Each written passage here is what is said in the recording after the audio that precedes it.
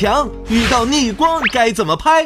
其实拍照的时候有一个非常重要的技巧，就是你在对焦的时候，可能逆光的情况下你很难对上焦，这个时候你就需要拿一只手来挡住一下光线，对上焦，然后虚按快门，等把手拿开的时候再按下去，这样就可以拍出一张好看的逆光照片。我拿手来挡一下，三二，那你可以拉着栏杆，稍微俏皮一点，开心一点来。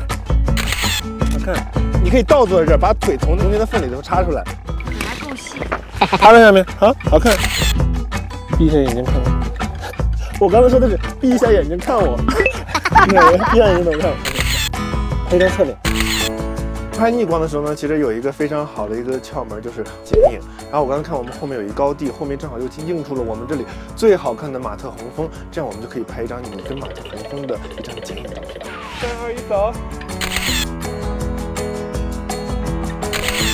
左手可以稍微往头上放一点。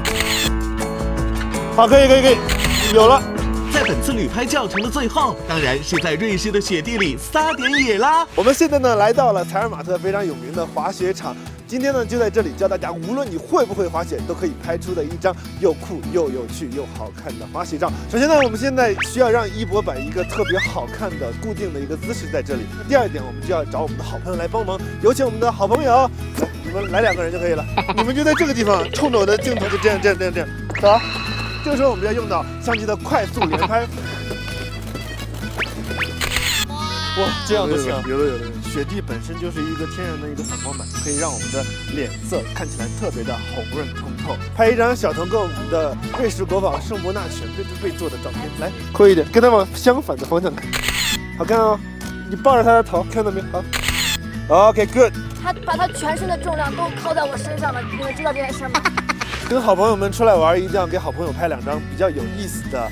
可以，你们俩就做一样的姿势，朝同样的一个方向走，超级美。跑，你们俩在一起跳一下，来，三二一，跳。我们现在再拍一张比较搞怪一点的，先来一个抓脖子的，来，三二一，走。来，再来一个冲击波的。好，可以，好看。背影，你俩一起回头，来，好看哦。因为这里的阳光特别的好，所以我们可以让我们的好朋友帮我们喷点水，产生一个比较雾化的一个效果。三、二、一，喷！哇，喷我一脸！好了，可以了。好，我们的教程就到此结束了。如果你没有学会的话，记得找一个像我一样的男朋友。王一博，王一博。